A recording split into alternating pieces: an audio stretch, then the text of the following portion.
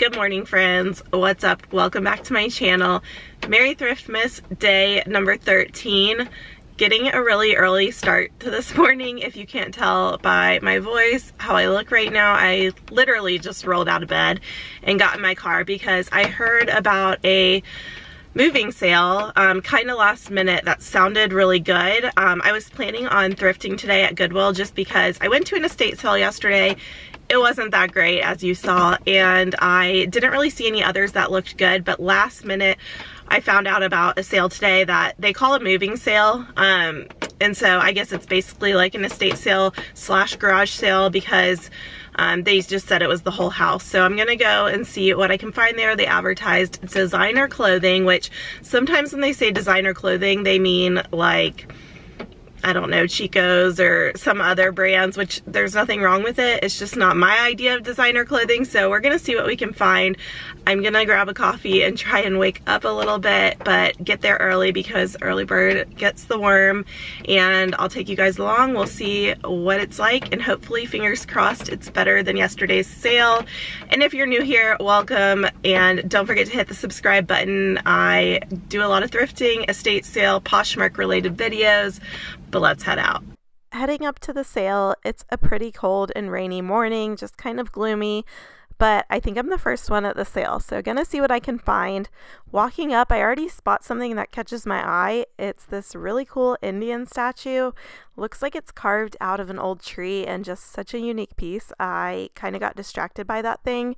Um, but looks like the sale is going to be in the garage. So everything is in the garage. It's not going to be in the house. And of course, I'm going to go look at the clothing first because that's always my first stop. Um, especially at garage sales, I'm not really into like electronics or anything like that. So there are some clothing racks. It's kind of dark back here, so I'm sorry. It's going to be hard to see what clothing I'm looking at, but I'm just looking for anything that catches my eye as far as style. Those are some graphic tees that were nothing special. Um, I'm seeing a few things that um, just yeah again not my style nothing was an amazing brand that i could see so far and i'm just going to look through everything moved on to a pile of bags and the second bag is this Kavu backpack so I grabbed that into my pile. Um, I usually pass on Vera Bradley it doesn't sell well for me or nor is it my style. A bunch of reusable bags in here see those a lot and then just some smaller little wallets and things nothing special. Looking through the clothing, I'm still looking for that designer clothing that was advertised. I personally um, didn't really see anything designer. Some southern designers, I guess you could say, like Vineyard Vines and stuff. But to me, that's just name brand. It's not necessarily designer. Um, again, I look more in these situations for styles that catch my eye, and then I look at the brand, especially lately. Um, as, as I curate my closet, I'm looking more for styles that fit. This felt like a nice piece. I looked at the tag. It was that new label, Cabi. Um, but Cabi, I'm pretty picky with. It doesn't sell amazing for me unless it's like a very unique style. Um, they had a bunch of old Letterman jackets. Those things are expensive, so if your kid goes to that school, that would be a good deal to get. Some old ski jackets, um, nothing I wanted to grab. Um, I found a cloth and stone shirt. I've talked about it before. That brand's very hit or miss for me. This one, it seemed like it was a little shrunken, so I did pass on that. This plaid thing caught my eye, but no, nothing special. This striped dress was by Madewell. It was an extra, extra small. And while I do buy all sizes, extra, extra small is a little harder. And that ended up having some wear, so I passed. A bunch of those like preppy chino shorts, those don't usually sell for me personally. I saw some workout stuff. And these first leggings look like the Alo Moto leggings, but they were just a knockoff. And then I liked this color and pattern on these leggings. You will probably see those in my haul later. And then this is a pair of Lululemon. They're an older style and also they had a lot of wear, so I passed on those. I found this Yeti cooler in the corner and I thought this was going to be a major score, but I threw it in my pile and then when I was checking out later, she said that wasn't for sale, so she put it back in her house. So I couldn't get that unfortunately. Um, some t-shirts, I saw a box of t-shirts and sometimes you can find some really cool old vintage tees and a lot of these were like Alabama and different high school and Victoria's Secret, um, just different college tees and things like that, but nothing that was unique enough or like vintage for me to grab. Okay, this last rack is the men's rack, and I grabbed this one shirt off the men's rack. You will see what it is in my haul. And then there was a small shoe rack in the corner, and it was very dark over here, so sorry you can't see. There are a couple pairs of shoes I did end up getting. Starting off the haul with shoes, I picked up this pair of high top Vans. They're just navy blue and white, one of their classic sneakers, and they're in excellent condition, look like they've barely been worn. And these are a women's size six and a half. The other shoes I picked up are these leather ankle booties. They're by Lucky Brand and I like how they have the exposed zippers. Just a low stacked heel and these are in really good condition as well and they are a size 7. And then I picked up this Kavu backpack. This is called the rope sling bag with like the braided rope strap. It's just a one shoulder kind of backpack. Has the embroidery across the back and these do pretty well for me. I typically pick them up when I see them and this one was in good condition. I did throw it in the washing machine and just freshen it up a little bit. They wash really well and I liked the print on this one so I grabbed it. And then I grabbed a couple travel bags. So this first one is printed with, I think it looks almost like little crosses and it's by Spartina 449 which I think started in the South. It's a little more of a preppy line um, but I do like the style of weekender bags. so it's got the double handles and then it also has a long crossbody strap that you can take off if you need to and this one's in really good condition it's nice and clean and I just like gave it a quick wipe down and it's good to go the other travel bag I picked up. It's more of a duffel style and it is by this brand Hartmann, which I am not familiar with, but I picked this up based on style. I love how it's an all leather duffel bag and I really like the color as well. It just looks like it's aged really nicely. Um, it does have obvious signs of like use and wear so you can see there's some marks on it. On the bottom of course there's some different marks and everything. I didn't try to polish or clean this because I didn't want to mess up the look of this leather. Like I think this kind of leather just gets better with age and it's also really clean on the inside. So what's nice is the inside is lined and it's super clean. I just wiped this down with um, like a cleaning wipe and then yeah it's good to go um, the nice thing, this also has a detachable shoulder strap so you can carry it like that or you can use the handles and then it has a bunch of compartments and stuff. So just a unique travel bag. I think this would be cool with like a vintage scarf tied on it. And then onto clothing, the first four items are actually from the sale and then I have some other stuff I want to show you. So from the sale, I picked up this pair of Athleta capri workout leggings. I'm kind of picky with which Athleta leggings I pick up, but I like the printed ones. These have some mesh and they are a size extra small. Um, size honestly doesn't really matter to me. To me, it's more about the style of them. And I do notice more athletic wear sells towards the very end of the year and like New Year's when people start having resolutions. And then I picked up this pair of jeans and I'm not sure if I've ever sold this brand before as far as jeans. I know I have a jacket in my closet. It's cut from cloth and these are a size 8 but I picked these up because I like the two-tone effect so how it has the lighter and the darker and then also the raw edge I think this is a little more current of a style and they're in excellent condition they look like they've barely been worn and then I found a Free People top just an oversized shirt it's got the stripes on the sleeves these little like faux elbow patches. It almost looks like an old school football jersey and it's We the Free by Free People. It's a size small. This is the final item I picked up from today's sale. It's a men's flannel plaid shirt and it is by Patagonia. It's a men's size large. This is called the Fjord flannel. That's the style of it and they do really well for me in both men's and women's so I always pick it up when I see it. Um, they usually go for around 35 to 40. They just have a good resale value. Okay, now on to a few other things. So if you guys watched my Thriftmas day number two, you might remember I found this Johnny Was size large blouse at Goodwill and it had some like grease stains on it. And I asked you guys how to get it out and I got a lot of great feedback and I ended up using Dawn dish soap on it and I put Dawn dish soap on some spots there were down here, which as you can see, they're gone. Um, I left the Dawn soap on overnight and then I washed it. I actually did it twice and then they came out, but I also want to get some people recommended, I think it's called Lestoil. I need to um, double check the name, but I want to try that next time as well. But Dawn dish soap, the blue kind, it worked perfect. Okay, these last six items are actually from my personal closet, which I'm working on cleaning out. So I'm going to get some stuff listed on my Poshmark. And first I have a graphic tee. It's just a Rolling Stones like cream colored tee. It's a size medium. The next t-shirt is a Paul McCartney graphic tee. It's really, really soft. It's by Trunk LTD, which is actually one of my favorite graphic tee brands, and they also have a pretty good resale value. Um, this one's also a size medium. This next top is a super oversized burnout tee. It's by Free People. Um, we the Free by Free People. This one's a small, but again, it's super oversized because I'm normally a medium, and that's what I took. And then I have this Poshmark long sleeve shirt. It's like a football jersey style. It says Poshmark established 2011.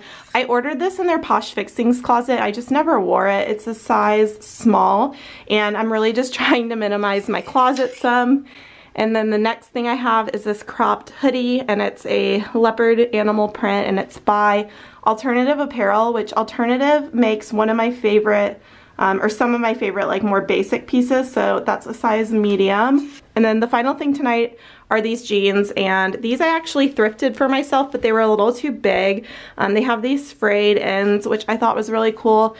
They're by Pistola. They are a size 29 and yeah I just thought those were a fun pair of jeans that unfortunately didn't work for me. So it's much later in the evening. I'm still rocking the makeup free look. I did take a shower but I feel like I've been going non-stop since Thriftmas started and I might be getting a little bit of a cold so I'm trying to take it easy.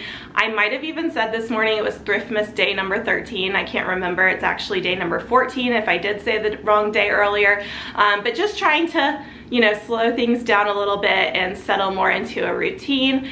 Um, but yeah, I did get a few things earlier today as you saw in my haul and I think it's important when going to these garage sales or it was a moving sale, not really an estate sale, but garage sale, that it can be easy to get caught up in like stuff being cheap or inventory being cheap and um, that doesn't necessarily mean that you need to buy it. I learned this the hard way. I used to have um, that mindset of buying stuff just because it was cheap and I thought it might sell, but in my opinion it's better to be selective and just do a little more research whether that be looking at comps or just even from your own experience. Like for me I have a more curated closet.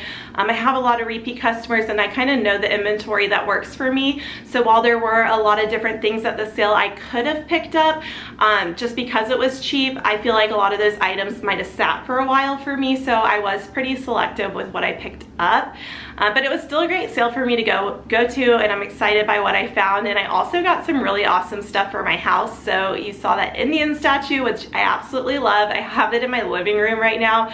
I don't know exactly where he's going, but he's super cool. And then I um, also got this really cool trunk. I told the lady I liked the Indian and I liked that whole like Southwestern kind of vibe as far as furnishings go. And we just started getting talking about stuff and she told me she had more stuff in the house that she wanted to sell. So she actually took me in the house and was showing me like furniture and rugs and and stuff like that. And I ended up buying two chairs, an ottoman, a trunk, and a rug from her and she gave me like the most insane deal.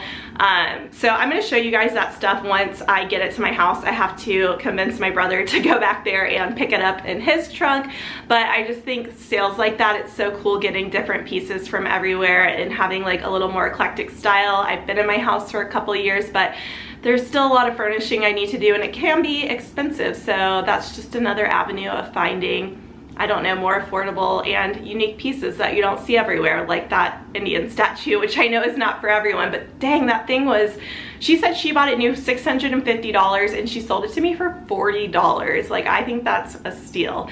But anyways, I've digressed. Um, Oh, I also showed you in my haul today some items for my personal closet, which I really need to go through my personal closet. I mentioned um, in a video previously that my goal next year is to only buy like pre-owned items from the thrift store, Poshmark, you know, anywhere like that.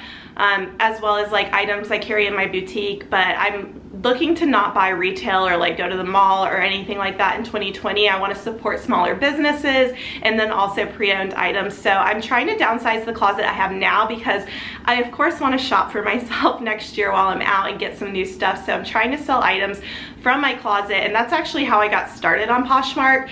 And what I was gonna do was like the whole Marie Kondo thing and take everything out of my closet and then like go through and decide what I wanna sell. But I kind of thought I might get overwhelmed by that because I feel like I would end up with this huge pile to sell and then um, it would take me forever to get listed. So I think what I'm gonna do is just a little bit at a time, which is kind of my method for everything um, and pick out like five or six items each day just to get listed for my personal closet. So be on the lookout for that. I'll probably show you guys those items too because it does go with the whole style of my Poshmark closet. My customer is kind of like myself. So hopefully you enjoyed seeing that. Let me know if you've ever done that whole like Marie Kondo thing and gone through your entire closet and like pulled everything at once. I feel like I'm kind of sick of everything in my closet and I would just have like a majority of my closet sitting in a pile. So yeah, we'll see how that goes. Um, oh, the other thing I wanna do, sorry, I feel like this ending is getting kind of long, so hopefully this video won't be too, too long for y'all. But I do wanna answer a question because I'm trying to answer a question in each video um, the rest of Thriftmas. So let me pull up my questions on my phone. Okay, this question actually kind of goes along with what I was just talking about. So it's from Ty Ty Ty Ty, four ties, T-A-I, zero zero. How much did you invest to start your business? And I think this is a great question. I actually invested zero dollars because like I said, I started out by selling my own clothing. That's how this whole journey started. I didn't even know there was such a thing as reselling, like people going out and buying stuff to sell. So um, my previous uh, experience. I had a lot of experience in retail and I had accumulated a lot of clothing that I wasn't wearing. So I started selling my own clothing and then I took that once I found out about resale. I like was kind of saving that money because I also had a full-time job. And then I found out about reselling and I started investing that money in inventory to sell.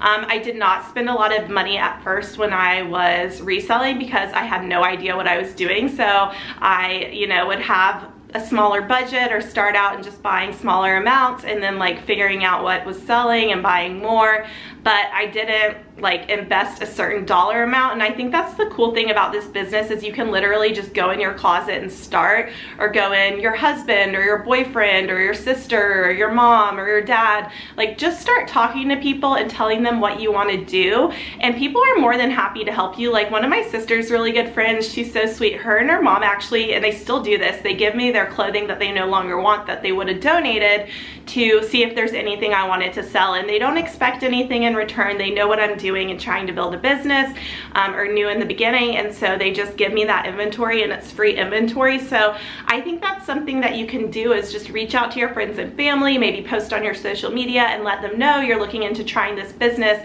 and it might not be the type of items that you love at first and that's okay because you're still learning. It's gonna teach you like how to take photos, how to list your items, how to ship things and you're not losing any money on anything. Um, you're just gaining and building that experience. And then as you get more comfortable doing everything, then you can start to spend money on inventory and things like that. And you don't need to spend money on anything fancy in the beginning. You know, taking all your pictures on your phone, I still do all of that. Um, what else with lighting like I used to just stand in front of a window, use natural lighting. Um, I didn't use any kind of fancy equipment. You do need something to print out your labels, but if you don't have a printer, you can usually go to a library and print out labels. You could go to like a FedEx or somewhere like that and see if you can print your labels there, your shipping labels, and you can use the free priority mailboxes from the post office. So it's really a super low initial investment. Don't feel like you need to have like seed money to start out. So I think that's one thing that could potentially stop people, but there's lots of ways to get get inventory and just going in your own closet and starting from there, getting the experience. Don't worry if you're gonna make mistakes in the beginning, but you have to start somewhere. So that is my tip for you. So thank you so much for that question, Ty, Ty, Ty, Ty. um, but anyways, thank you guys so much for watching today's video. I always appreciate it. Don't forget to hit the subscribe button and also the thumbs up button. And I will see you in tomorrow's video. Bye guys.